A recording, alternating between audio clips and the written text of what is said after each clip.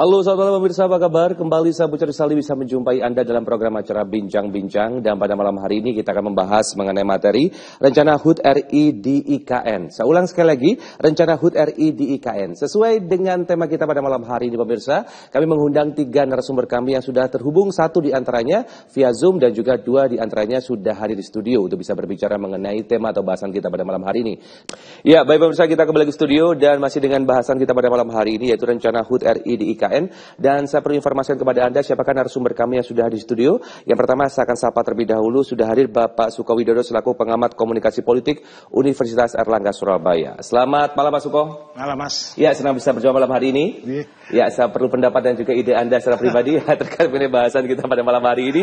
Dan di samping beliau sudah hadir Pak Sobikin Amin selaku politisi PSI. Selamat malam, selamat malam Pak Sobikin. Malam Mas. Iya, ya. senang bisa berjumpa malam hari Pak Sobikin. Ya, ya, ada bahasan mungkin yang akan uh, kita singgung Pak terkait mengenai hal ini dan juga kita dengan PSI. Tapi uh, sepertinya sudah berhubung dengan kita pemirsa, yaitu Bapak Erlangga pribadi selaku pengamat politik dan juga demokrasi. Halo.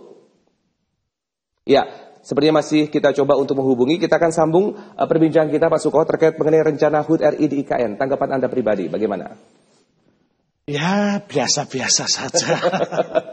Tapi artinya gini mas, menurut saya memang ini problem yang saya kira apa ya? Saya, Biasa aja tidak ada suatu hal yang wow begitu menurut anda? Ya menurut saya ya wajar aja hmm. apa uh, perlatan kemerdekaan hmm. dan di sana yang jadi soal kan kemudian ada sejumlah hal-hal yang uh, publik mungkin tidak siap atau bahkan menolak terhadap hmm. kondisi itu hmm. karena memang IKN ini pun juga sampai sekarang kan belum jejak ya, belum jejak hmm. apa ya, masih ada kontroversi dan sebagainya. Yeah.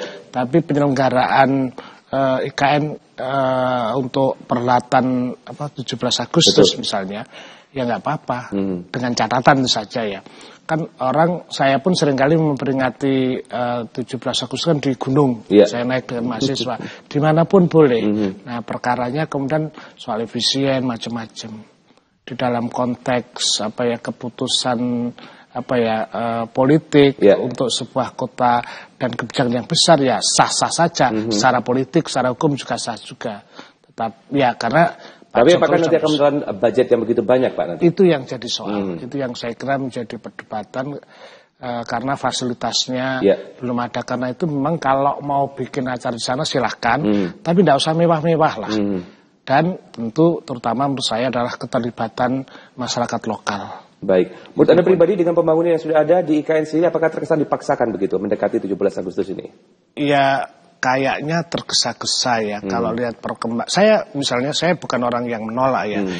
uh, Jakarta sudah penuh dan Indonesia butuh satu tempat sendiri misalnya ini ini juga perdebat sendiri apakah karena biasanya kan kota-kota besar pindah kayak Putrajaya yeah. Iya. uh, New York ke Washington dulu hmm. itu kan juga nggak terlalu jauh hmm. itu kan jauh dengan dengan luar biasa dan infrastrukturnya belum ketergesaan itu kalau saya saya lihat saya belum lihat dokumen-dokumen studi hmm. uh, uh, lingkungan atau terutama mungkin dari aspek sosialnya. Baik.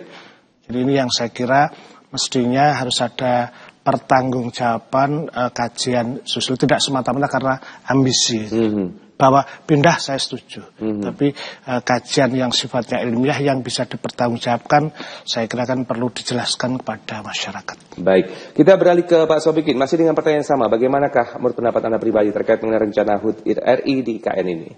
Uh, terima kasih. Jadi HUT RI di, di IKN ini adalah sebuah momentum penting dan hmm. strategis untuk memang diadakan di sana. Jadi untuk menunjukkan pada mata dunia, ya bahwasanya Indonesia juga mampu untuk membangun ibu kotanya sendiri yang baru. Jadi ini adalah momentum yang patut kita syukuri, patut kita hargai dan patut kita doakan dan kita dukung. Mm -hmm. Karena ini adalah terobosan yang tidak main-main saya kira. Mm -hmm. Ini adalah terobosan yang visioner yang tidak semua pemimpin mampu untuk melakukan itu. Mm -hmm. Soal kemudian banyak pro kontra sebagaimana yang disampaikan Pak Soko tadi itu hal yang wajar. Sesuatu yang visioner itu kadang memang akan terasing di zamannya gitu. Hmm. Akan terasing di zamannya dan kalau dalam uh, ada penolakan dari sebagian itu ya biasa-biasa aja itu. Baik. Bahkan kemudian penolakan itu bisa menjadi sebuah indikator bahwasanya itu adalah sesuatu yang memang melampaui zamannya, kira-kira hmm. begitu. Hmm. Pak Sobegin, kembali dengan apa yang disampaikan tadi, penolakan begitu, saya garis bawahi penolakan. Nah, uh, apa yang membuat uh, banyak orang begitu melakukan penolakan terkait mengenai dibangunnya uh, ibu kota negara di IKN itu sendiri? Uh, saya kira uh, yang menolak itu mungkin tergesa-gesa juga untuk menolak. Hmm. Jadi sesuatu itu kan harus kita lihat secara uh, menyeluruh, secara komprehensif hmm. untuk masa yang lebih panjang, hmm. untuk masa yang lebih panjang. Jadi eh, apa yang kemudian dilakukan oleh Pak Jokowi selaku presiden ini saya kira adalah sebuah terobosan yang sangat-sangat visioner menurut saya. Hmm. Sangat visioner dan tentu di samping uh, memindah ibu kota secara fisikly hmm. karena mungkin sebagaimana yang disampaikan Pak Soko tadi terlalu sudah terlalu sumpek mungkin di di Jakarta sudah terlalu padat gitu ya, kemudian yang lebih penting dari itu sebagaimana yang disampaikan oleh presiden bahwasanya adalah merubah atau memindah mindset ya. Hmm. Memindah mindset memindah, ya. ya paradigma hmm. yang mungkin dianggap sudah konvensional lah gitu ya, sudah masa lalu bahkan kemudian mengatakan itu masih ada bau-baunya kolonial ya kira-kira gitu ya. Uh, untuk melakukan sebuah lompatan uh, yang kemudian dilambangkan dengan hmm. uh, apa membangun IKN itu. Jadi baik kalau mungkin dalam ilmunya Pak Soko secara semiotik itu ada pertanda, ada penanda kira-kira gitu. Maka pemindahan IKN ini juga mungkin bisa difahami secara semiotika gitu. Baik. Kira -kira. Mas Sobigin, apa yang membuat Anda begitu percaya diri? Saya melihat beberapa perihal tertentu begitu pada saat Anda menyampaikan terkait dengan IKN, Anda begitu percaya diri. Apa yang membuat Anda begitu percaya diri bahwasanya pembangunan ini berjalan dengan cukup lancar nantinya? Uh, saya cukup percaya diri karena saya melihat sosok Pak Jokowi yang hmm. begitu konsisten, hmm bahasa Jawanya tidak tola-tole gitu ya. Jadi uh, apa lurus tegak lurus gitu. Ya. Jadi tidak pernah gamang dengan ide yang dia yakini akan membawa kebaikan dan kemajuan bangsa ini. Mm -hmm. Dalam banyak case saya kira saya yakin sekali dengan Pak Jokowi ini akan beres dan akan diteruskan oleh generasi setelahnya. Mm -hmm. Baik, Pak Suko, kalau kita melihat setiap tahun perayaan 17 Agustus begitu ya di Istana Negara begitu sangat luar biasa, begitu sangat meriah, sangat hingar-bingar dan sebagainya begitu. Tapi pada saat nanti diadakan di IKN, apakah kemungkinan potensi itu akan kembali terulang? Ini memang agak unik, tapi saya menggarisbawahi. Jadi yang menuduh, mengkritik itu tergesa-gesa, saling tergesa-gesa gitu. tapi yeah. tapi kita harus membahasnya uh. karena ini soal masa depan bahwa kemudian dipindahkan ya. Dulu kan kita hmm. pernah ya di zaman uh, Pak Harto dulu yeah. mau dipindahkan, terus kemudian Pak SBY jonggol. Hmm. Nah sekarang terwujud. Nah yang jadi soal kan kenapa harus di sana dan hmm. sebagainya. Memang kalau ibu kota pemerintahannya, hmm. ibu kota pemerintahan itu tidak tidak harus uh, dekat dengan dunia bisnis. Jadi ini kan pikiran-pikiran kan masih rancu karena ini. Nah, karena itu menurut saya yang penting adalah perhitungan. Hmm. Apakah kemudian sustainable misalnya itu kan hmm. harus dihitung ya. Sudah kadung dibikin tuduhannya kan mangkrak dan hmm. sebagainya. Karena itu kan seorang sobikin harus konsisten ini. Hmm. Jadi kita juga nggak tahu ini zaman uh, eh, 50 tahun dan hmm. sebagainya uh, akan ada. Yang jadi soal perayaan mas. Perayaan ini memang ini ini yang agak tsunami ini bukan hanya soal IKN ya. Hmm. Kita kan perpolitikan kita juga gitu. Ada yang konflik, ada hmm. yang mundur. Hmm. Nah, ini kan hirup kok saya melihat memang ini apa ya ontran-ontran demokrasi kita ya sedang mengalami seperti itu. Tapi dalam konteks politik saya kira wajar-wajar saja. Tapi balik ke soal perlatan, apakah masih ada? Saya lihat masih mas kegairahan hmm. di. Saya aja kemarin masih ikut lomba catur itu hmm. dan alhamdulillah juara dua. Tapi pesertanya yang tujuh nggak datang. Jadi yeah. kegairahan masyarakat masih ada dan orang Indonesia itu masih baik-baik kok. Pada saat nanti dirayakan di IKN Mas saya, Pak. Ya. Hmm. Apakah nanti akan sama serupa seperti di Istana Negara di Jakarta lebih tepatnya? Ya tentu agak beda ya. Hmm. Suasananya tentu beda. Wong juga tempatnya berbeda, hmm. apalagi kalau kita baca berapa bus yang disiapkan fasilitas ini. Ini loh mas yang hmm. saya kritik tuh bahwa jomekson teman-teman hmm. gitu loh. Hmm. Nah apa-apa adakan aja sana misalnya Pak Jokowi ngundang pramuka beberapa Masalahnya dengan konsep kesederhanaan begitu? Ya, saya sepakat jadi tidak harus apa ya tidak harus berlebih toh sekarang teknologi komunikasi juga mm-hmm. jadi menurut saya terus yang kedua yang saya harapkan justru masyarakat setempat mm-hmm. masyarakat setempat tuh karena ke depan dia akan berada dalam apa, nuansa itu iya. diambil yeah. perwakilan-perwakilan yang saya kira Baik Jadi tidak harus nyari, mm-hmm. jangan terlalu influencer lah kira-kira mm-hmm. gitu. Mm-hmm. Tapi BEM misalnya atau KNPI mungkin itu lebih itu ya. Jadi mereka karena kalau konsepnya ini untuk sebagai legasi masa depan ya anak-anak yang bermasa depan dong yang mm-hmm. diajak. Termasuk uh, masyarakat setempat yang saya kira harus hadir utama di tempat itu. Baik, kita tahan dulu perbincangan kita, kita akan sambung lagi perbincangan kita. Pemirsa Anda jangan beralih ke mana-mana, karena kami akan segera kembali tentunya setelah pesan-pesan berikut ini.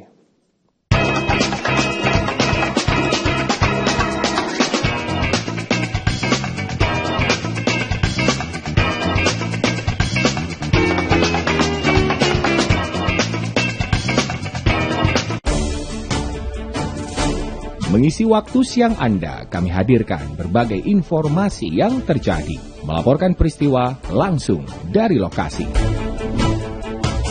Tingginya minat berbelanja seragam tersebut memberikan rezeki lebih kepada pedagang seragam sebesar lebih dari 70% dibandingkan hari biasanya. Update siang, setiap hari pukul 11.30 waktu Indonesia Barat di Jawa Post TV. Hadirkan berita seputar kebijakan, pemerintahan, aktivitas bercorak keindonesiaan. Dikemas secara ringan.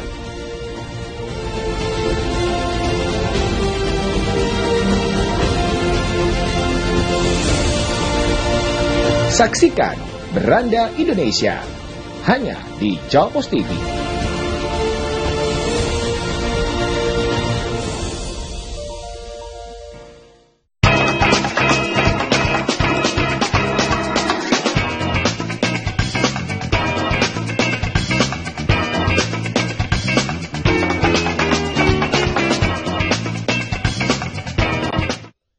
Ya, baik pemirsa, kita kembali lagi studio masih dalam program acara Bincang-Bincang masih bersama saya Pucor Saldi dengan bahasan rencana HUT RI di IKN. Saya akan tembak kembali pertanyaan kepada Pak Suko. Pak Suko, hari ini Jokowi mengajak ratusan kepala daerah untuk bisa datang dan hadir di IKN. Ini apakah ada maksud komunikasi tertentu dalam arti kata untuk memperkenalkan bangunan yang sudah ada di IKN?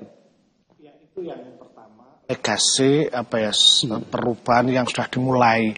Ya. Uh, konsekuensinya otomatis kan IKN nanti ketika ada aktivitas maka uh, kepala daerah sudah mulai berpikir, oh saya harus tidak ke Jakarta hmm. lagi misalnya, akses saya ke IKN. Otomatis daerah-daerah sekitarnya, daerah timur mulai berpikir uh, membuat kebijakan yang punya relasi dengan pusat kekuasaan itu. Hmm. Jadi di dalam peta apa peta uh, program-programnya pasti akan disesuaikan dengan posisi ibu kota karena sentral banget nantinya itu. Hmm. Dan itu secara merata bahwasanya semua kepala daerah diundang secara langsung ke sana dengan tujuan untuk bisa mempresentasikan ya bangunan ya. sudah ada setidaknya kan memperkenalkan ini loh ibu kota Anda hmm. dan mari kita sama-sama pada titik itu. Ada kepentingan satu politis tapi jangka panjangnya agar kemudian para kepala daerah punya visi bahwa uh, apa ya uh, magnet Jakarta sudah dipindahkan hmm. magnetnya di situ. Selama ini kan kata kita lihat apa semua keputusan itu Jakarta sentris hmm. misalnya dengan ada IKN otomatis kan menyebar. Nah kalau orang Papua dulu misalnya sentrisnya terlalu jauh hmm. karena dia peri-peri ya berada yang pinggir maka sekarang dia merasa lebih dekat daripada dia harus di Jakarta. Baik, ini dengan harapan nantinya lifestyle Jakarta pindah ke IKN begitu atau mungkin secara administrasi saja, Pak? Uh, kalau belajar dari berbagai kota, memang dia ibu kota hmm. negara. Ya, walaupun apa niatannya ibu kota pemerintahan, otomatis bisnis akan apa melengkapi. Kalau hmm. kita belajar tata kota itu kan di Jawa itu kan selalu ada ini ada keratonnya, ini ada uh, biasanya kehidupan apa ya masjid, kemudian hmm. ada pasar, hmm. ada penjara misalnya semacam itu kan.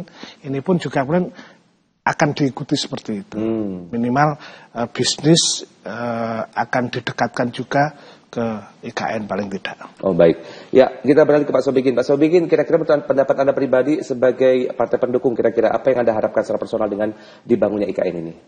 Uh, seperti yang saya sampaikan tadi, bahwasanya dengan dibangunnya IKN ini, harapan saya adalah tidak hanya semata-mata merubah atau uh, memindah secara fisik, hmm tapi bagaimana kemudian itu bisa memindah secara mindset, ya. hmm. mindset baik itu terkait dengan kinerja birokrasi yang baru yang ada di sana, maupun juga mindset masyarakat secara secara luas. Hmm. Kemudian tadi sempat saya singgung, eh, tadi menyinggung apa yang disampaikan Pak Soko tadi, bahwasanya perayaan HUT di sana terlalu mewah. Menurut saya untuk negara Republik Indonesia yang penduduknya ini ratusan juta. Saya kira itu udah udah, mewah lah, gak terlalu, terlampau mewah. Urusan kemudian kenapa kemudian ini harus 17 Agustus dan seterusnya. Orang punya rumah aja pilih hari yang bagus. Dan mungkin dalam analisanya Pak Jokowi 17 Agustus adalah hari, yang paling istimewa buat bangsa Indonesia untuk mhm. pindah pindah ibu kota. Walaupun biayanya kalau diberikan seragam sekolah lebih banyak. ya itu saya kira udah udah ada porsinya. Jadi ini adalah sebuah ada uh, mungkin juga ada kepentingan branding ya. Jadi hmm. jadi kepentingan anu ya untuk uh, menunjukkan kepada sebagian lagi kepada hmm. bangsa-bangsa di dunia. Jadi sekali lagi Uh, saya kira masih on the track bagaimana kemudian perayaan HUT itu nanti akan digelar. Saya kira juga tidak terlampau mewah-mewah banget hmm. lah untuk se, untuk negara se, hmm. sebesar Indonesia Pak Soebigi hmm. saya kira. Baik, Pak Soebigi uh, kembali lagi terkait mengenai eh, pribadi-pribadi atau pihak-pihak yang mengcounter terkait mengenai atau mengkritisi terkait mengenai pembangunan di IKN. Anda menanggapinya seperti apa Pak? Ya menurut saya sebagai negara yang besar, yang majemuk hmm. dengan tingkat pendidikan yang juga beragam, saya kira itu hal yang wajar dalam negara demokrasi seperti Indonesia dan itu juga harus di, tetap disikapi secara bijak dan itu hal yang wajar dan uh, harapan saya uh, nanti waktu yang akan menjawab hmm. dan uh, pembangunannya aja butuh waktu 10-20 tahun ke depan. Hmm. Jadi nah, baru 20 tahun ke ya depan ya. hmm. itu nanti baru mereka akan sadar akan tahu oh ini toh maksudnya Pak Jokowi itu. Hmm. Ini tuh visi ke depannya untuk memajukan atau untuk mewujudkan Indonesia maju itu. Hmm. Saya kira uh, akan dijawab oleh oleh waktu. Baik. Jangankan itu, uh, bangunannya aja udah mulai dikritisi. Hmm. Eh, saya kira semakin filosofis sebuah bangunan, semakin artistik sebuah bangunan, saya kira akan menyimpan, uh, memang akan menyimpan banyak persepsi ya, atau akan menimbulkan banyak persepsi. Hmm. Sama dengan ketika gedung ini dibangun, Grapena ini di zamannya waktu itu mungkin juga aneh gitu kan. Hmm.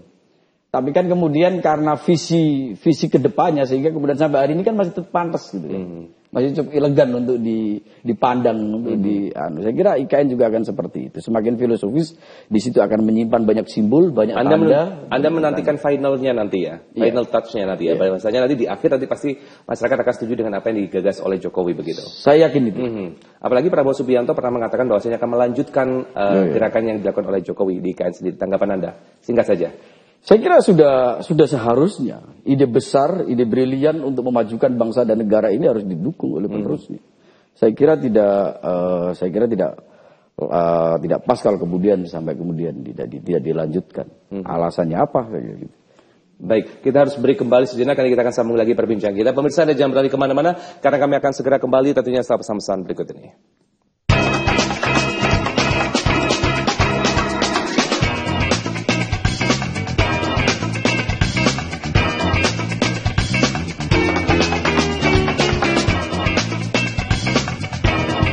Mutiara Islam, tayangan religi membahas berbagai persoalan kehidupan di masyarakat dengan kajian dari sudut pandangan Islam. Mendapat jodoh, istri yang begini, begini, begini. Umumnya ya takdirmu pun nggak bisa diubah. Ya wes, ya itu Bersama narasumber dan ustadz yang ahli di bidangnya. Saksikan Mutiara Islam setiap hari pukul 5 pagi hanya di Jawa Pos TV. Terjadinya gagal ginjal akut pada anak bukan sebuah kasus baru. Kasus yang dikenal gagal ginjal akut progresif atipikal ini menjadi perhatian karena resiko perburukan sangat cepat bila tidak dikenali dan ditangani sedini mungkin.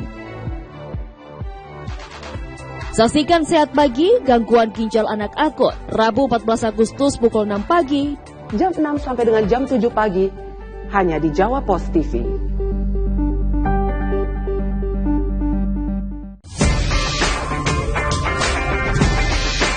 Saksikan program dialog sumber inspirasi dan informasi otomotif.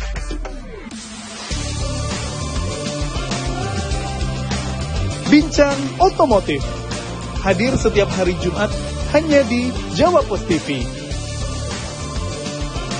Bincang Otomotif, fueling your automotive passion.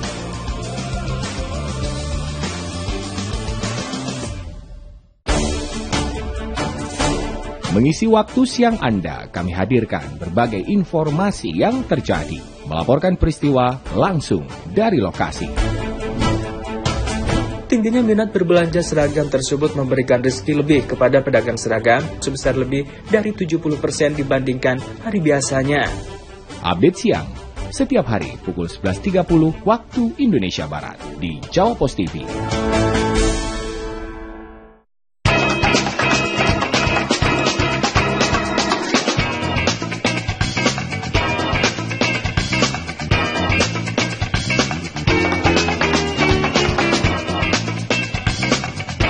Ya, baik pemirsa masih bersama saya Pencuri Saldi dalam program acara Bincang-Bincang dengan program acara Rencana HUT RI di IKN. Dan saat ini kita sudah terhubung dengan salah satu narasumber kita yaitu Mas Erlangga Pribadi selaku pengamat politik dan juga demokrasi Universitas Erlangga Surabaya. Halo, selamat malam Mas Angga.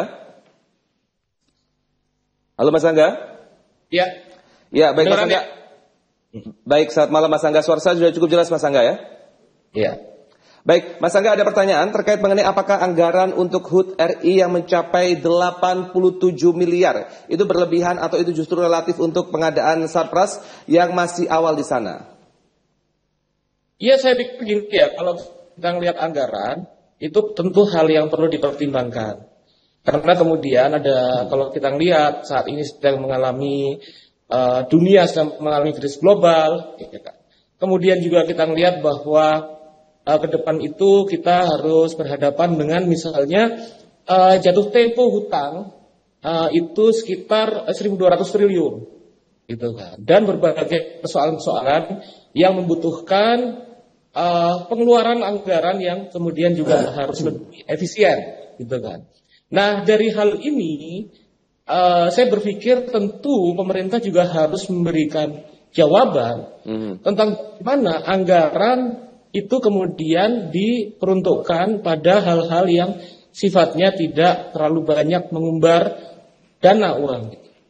Nah, dalam konteks ini saya juga mempertanyakan persoalan tersebut. Bagaimana kemudian pemerintah misalnya menjawab isu-isu sehubungan dengan uh, yang banyak sekali muncul terkait dengan bahwa harus menyewa mobil 25 juta satu mobil gitu kan selama sehari sedangkan kita tahu bahwa itu membutuhkan katanya 1000 mobil yang ada di sana Alphard gitu kan. Itu juga harus dijawab oleh pemerintah. Juga kemudian kita melihat masih eh, IKN ini masih memiliki problem-problem krusial yang eh, saya pikir eh, banyak kalangan yang masih mau tanda tanya di sini. Nah dalam hal tersebut gitu, itu kemudian menjadi eh, apa ya sesuatu yang problematik kemudian untuk dilakukan di sana dalam kondisi eh, anggaran yang eh, besar. Baik. Apalagi Baik. ya, Mas Angga tadi bisa saya sempat tambahkan Baik, satu lagi Mas-. Iya, Mas Angga tadi sempat mengatakan tantanya besar. Tantanya besar maksudnya seperti apa nih Mas Angga?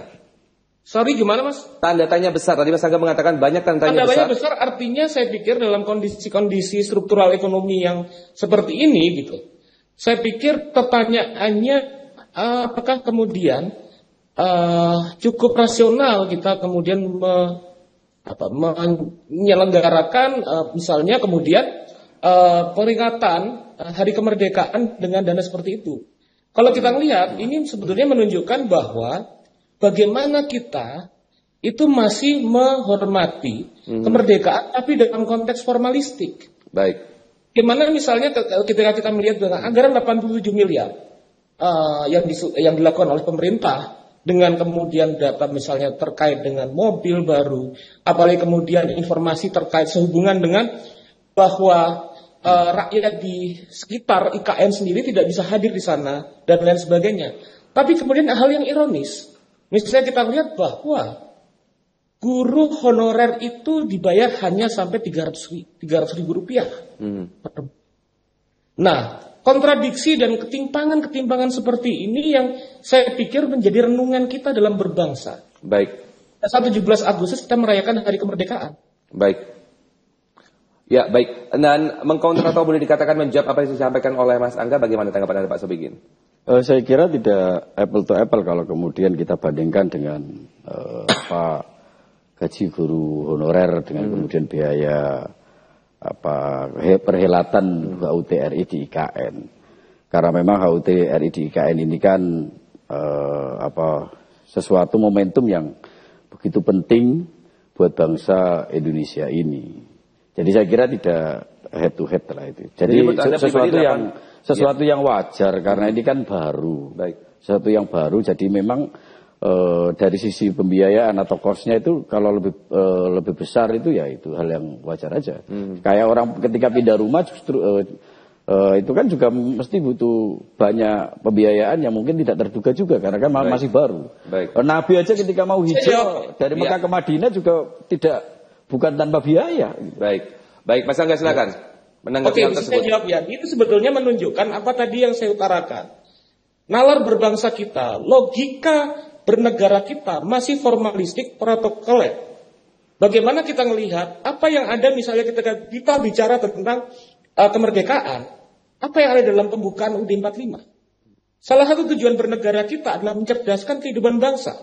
Dan banyak sekali kemudian tenaga pendidik yang berperan sebagai uh, dan mencerdaskan kehidupan bangsa hmm. harus dibayar dengan demikian murah. Hmm. Berbanding terbalik dengan apa yang sedang berlangsung yang akan dilakukan di IKN nanti proklamasi. Sat, Ini perbedaan logika formalistik, logika protokoler dengan logika kualitatif bernegara. Baik. Baik. Silakan Pak. Saya kira uh, apa kita juga harus melihat eh, hal-hal uh, substansial. Kenapa kemudian IKN itu harus ada di sana? Apa yang substansial Sa dari itu? Salah satu yang seperti yang disampaikan oleh Pak Presiden, bahwasanya hal substansial adalah adalah untuk uh, mengurangi Java sentris, untuk mengurangi Jakarta sentris. Dan yang penting adalah untuk pemerataan pembangunan. Hmm. Bagaimana kemudian keterbelakangan uh, banyak keterbelakangan di daerah 3T umpamanya. Nah, ya, salah satu IKN ini untuk menjawab bahwasanya proses pembangunan tidak harus di Jakarta saja. Baik. Kita Dan belum masuk ini adalah momentum momentum kita, kita untuk melakukan pemerataan pembangunan. Bagaimana proklamasi Baik. kemerdekaan? Baik, kita berikan kesempatan. Hal ya. proklamasi, kemerdekaan. proklamasi kemerdekaan Baik. adalah sebuah momentum yang harus kita kita lakukan. Baik, momentum penting dan strategis menurut ya, saya. Bisa ditahan terlebih dahulu. Ya, untuk bisa menjadi suasana saya minta uh, minta pendapat dari Pak Suko terkait hal ini. Silakan Pak Suko. Ya, saya sebagai orang komunikasi politik memandang ini uh, harus agak komprehensif. Prinsip uh, perlatan di hmm. sana hmm. itu kan sebetulnya mau melegasikan bahwa ini berprospek pesan pentingnya itu. Nah, apakah ini butuh dana besar atau hmm. tidak?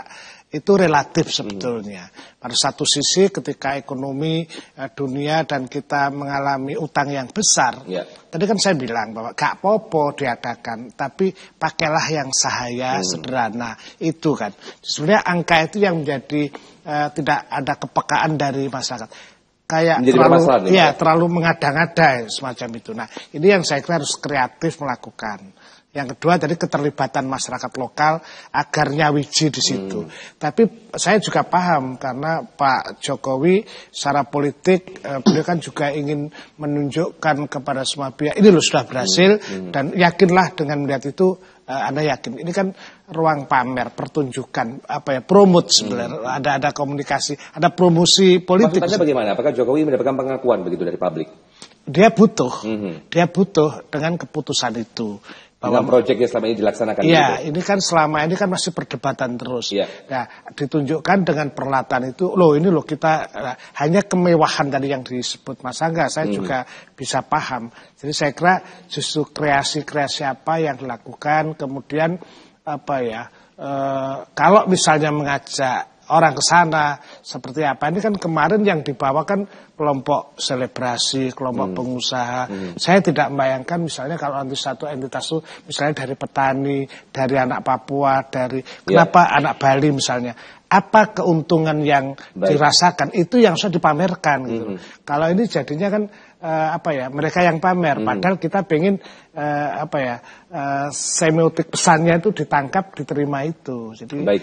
Tapi lantas apa Pak Sobik membuat Anda begitu mewajarkan bahwasanya 87 miliar ini hal yang biasa saja begitu untuk proses pelayanan dari saya kira ini sendiri di KN? Ini kan membawa nama baik, uh, nama nama bangsa dan negara yang hmm. besar. Ya. Saya kira uh, uh, ini sebuah hal yang wajar menurut saya. Ya sama aja nanti kalau kemudian ternyata dipangkas separuh dan ternyata kemudian banyak kekurangan di sana nanti dikritisi lagi sama Pak Suko Sobang. Enggak juga saya enggak Jadi Karena saya gini kira loh, gini loh, uh, apa -apa. akibat dari efisiensi itu kadang kemudian juga berakibat pada profesionalitas dalam ya, dalam pelaksanaan. Boleh tapi duitnya jangan utang kata Pak Angga. Jadi ya, kita nanti kalau kalau di ya. dipangkas di hmm. disedikitin biayanya kemudian Baik. ternyata kemudian banyak kekurangan banyak tamunya yang telat fasilitasnya tidak memadai. Ya, usah diundang, dikritisi lagi. Gitu kan. semua cuma beberapa aja yang diundang. Jadi kita sambung lagi nilai kita harus untuk- break dulu sejenak. Pak Sobiki dan juga Pak Suko dan juga Mas Angga. Pemirsa ada jam beralih ke mana-mana karena kami akan segera kembali. Tentunya setelah pesan-pesan berikut ini.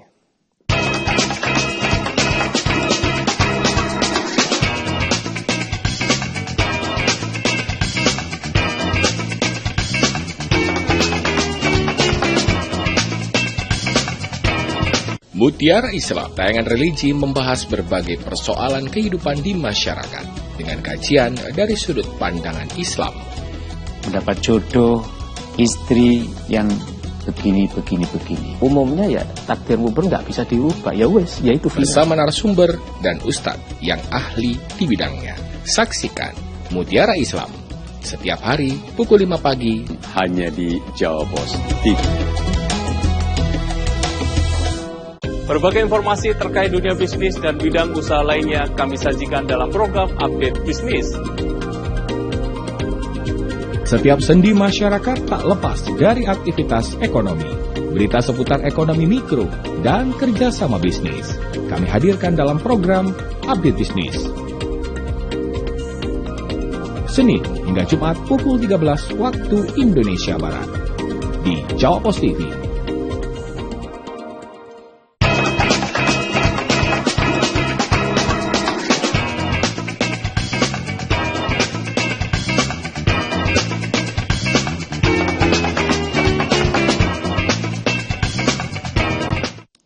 Baik pemirsa masih dalam program acara Bincang-Bincang masih bersama saya Pucar Saldi. Mas Angga masih bersama dengan saya? Ya, halo Mas Angga. Ya, Ya, Mas Angga, ada pertanyaan dari saya pribadi. Tahun ini upacara HUT RI jadi berlangsung di dua tempat ya, Jakarta dan juga IKN. Apakah tidak efektif ini namanya, Mas? Iya, kalau saya melihat itu kan menunjukkan bahwa proses uh, negosiasi dan proses uh, komunikasi antara uh, pemerintah yang saat ini dengan pemerintahan yang ke depan itu kan juga sebetulnya belum utuh. Sehingga kemudian kita nggak pernah lihat di seluruh negara sejarahnya itu ada upacara nasional uh, merayakan kemerdekaan itu di dua tempat gitu ya. Ya kalau misalnya Amerika Serikat di Washington, kalau di uh, apa Australia itu di Canberra gitu. Kalau di- misalnya di tempat-tempat yang lain di tentu di di capitalnya di ibu kota negara. gitu. Iya. Nah ini kan berarti sebetulnya menunjukkan sesuatu yang belum selesai dalam proses uh, apa ya uh, transisi atau transformasi dari uh, dari ibu kota lama ke yang baru gitu kan.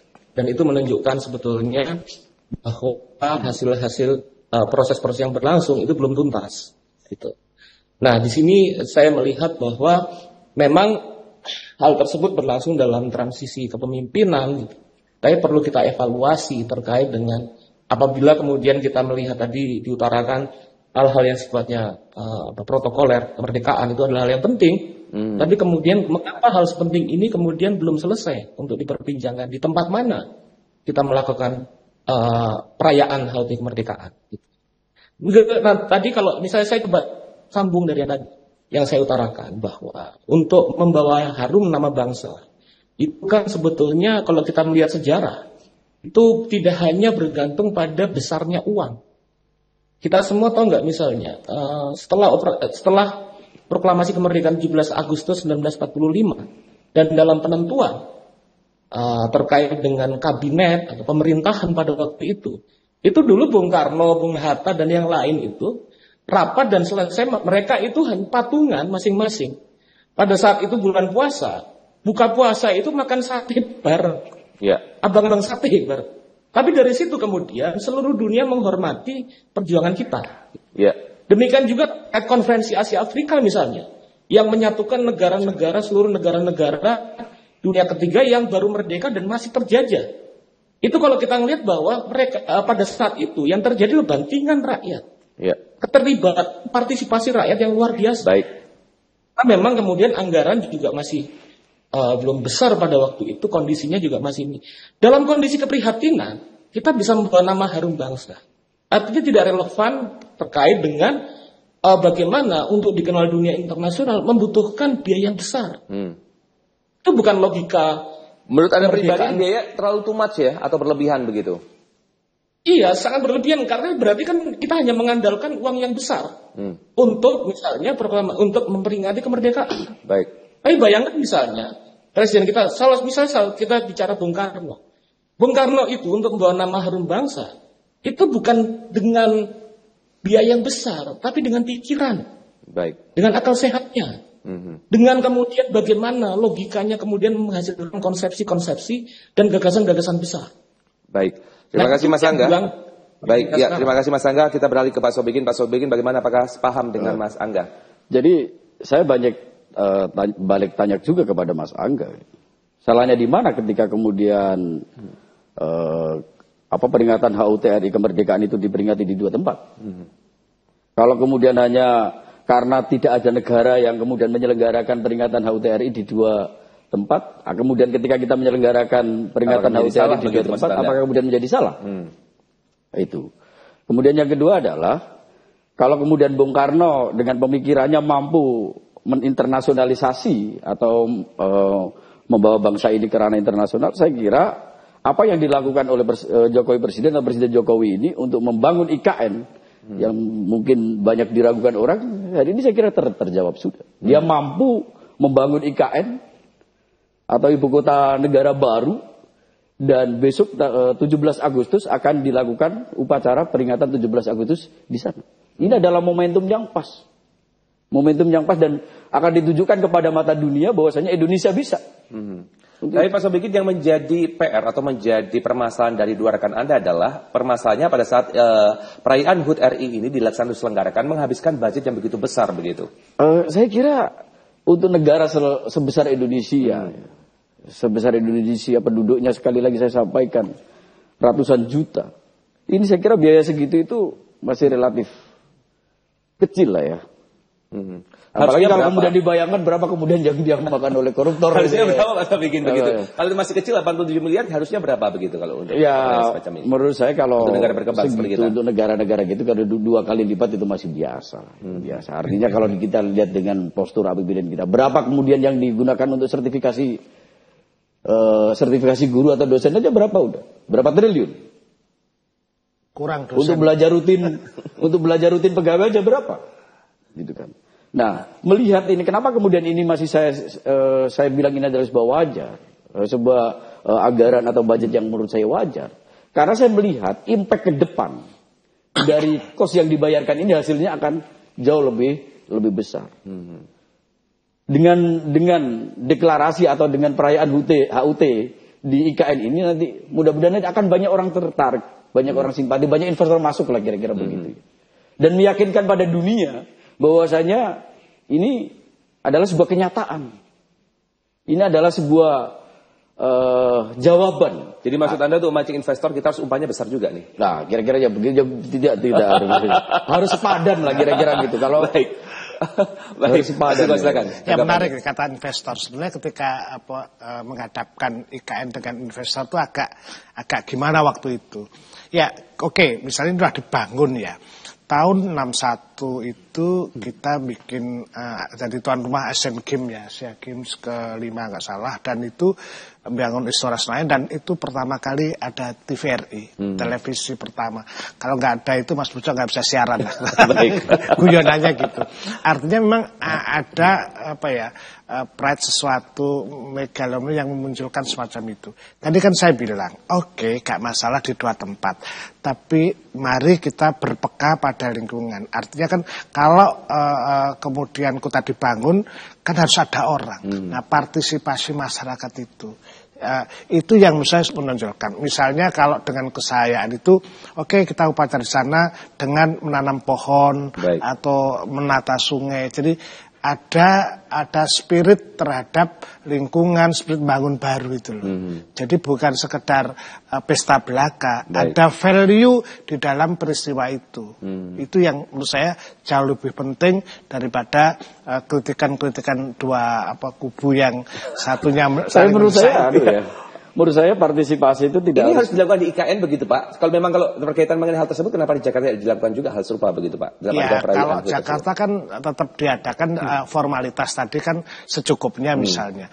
Kan keprihatinan itu menjadi penting. Ada satu masa sehingga ada kelengkapan di dalam keputusan eh, yang eh, akan ngajak orang. Ngajak orang untuk berpartisipasi itu kan harus memahami situasi kondisi juga Baik. gitu. Jadi yang menjadi eh, fokus perhatian dari Pak Suko ini masalah budgetingnya, masalah value atau ber- berdikatkan kegiatan. Saya value terutama. Value ya, kalau utama, soal betul. apa angka itu relatif ya, Hmm. tapi value itu yang yang penting dan ini apa ya? Karena kan ini kan saya kan mengalami apa ya? Ini ini sebenarnya saya menganggap revolusi Hmm. kultur ketika apa kelompok generasi eh, X baby Hmm. boomer ini digantikan baru estafet. Jadi sebetulnya ini akan bagus kalau konsep nilainya adalah penanda. Wah ini ilmunya Mas Sobikin. Penanda bahwa masa depan kita mulai dari sana. Titik berangkat itu itu akan lebih akan lebih mendapat dukungan masa depan. Baik, kita berikan tanda koma dulu nanti kita akan sambung lagi perbincang kita. Pemirsa Anda jangan berani ke mana-mana karena kami akan segera kembali tentunya setelah pesan-pesan berikut ini.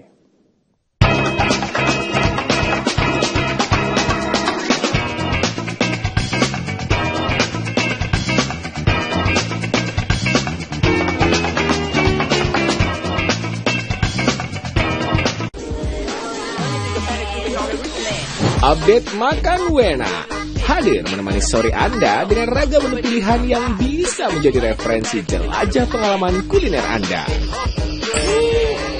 Temani host kita Juno Haha.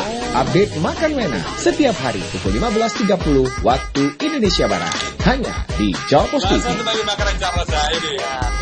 Saksikan terus update makan Wena. Lolo.